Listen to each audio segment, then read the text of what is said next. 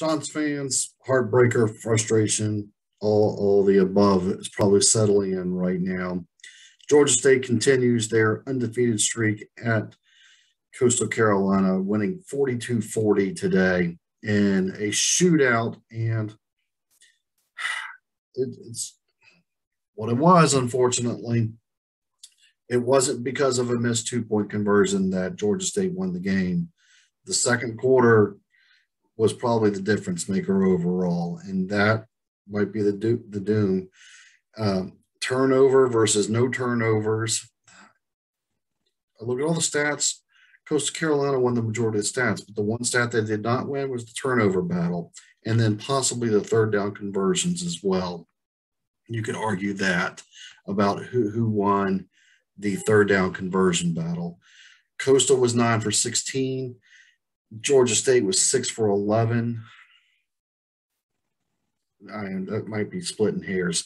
Bryce did not have a bad game 17 of 29, 233, and a touchdown, but he also threw a pick. He had some runs as well that kept him alive.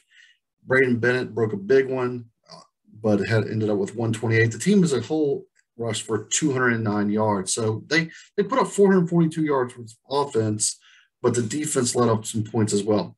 And Georgia State's two best games going into the season were losses against Louisiana and a loss against Auburn. Both came in the final minute of the game. So they've been right there. Georgia State's got one more win in them, and then they become bowl eligible. Expect them to go bowling this year. Coastal more than likely now has just guaranteed themselves a trip to the Myrtle Beach Bowl, where they'll play either a Conference USA or MAC opponent. That's not the answers anybody on this video, watching this video, is looking for right now and excuses. It, it just came down to Georgia State. And when I say punch them in the mouth, oh, oh, oh, oh there was more than one punch in the mouth scenario. And yet, how that yellow hanky stayed in the officials' back pockets beyond me. But I'm not putting this on the officials. Just this was uh, how many consecutive games now where the opponents are physically trying to punch Coastal Carolina in the mouth. And I'm seeing a coincidence form that and when they play hard hitting teams, these guys are physically hard hitting, and maybe it's taking their toll on them. I don't. Here's the wrap up. It's not the way we wanted it to be. Still a positive season. I mean, let's compare for just two years ago when the, when they finished just a, missing bowl games coming down to their final two games and couldn't clinch a bowl game, and now we're frustrated because we're pretty much guaranteed not to win the Sun Belt East.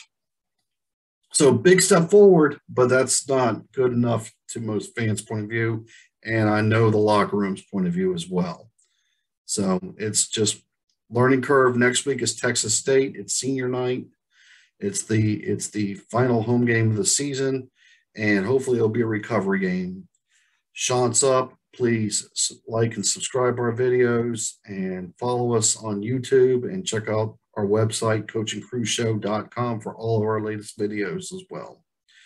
We'll hope for better next week, but we'll be with you to the end.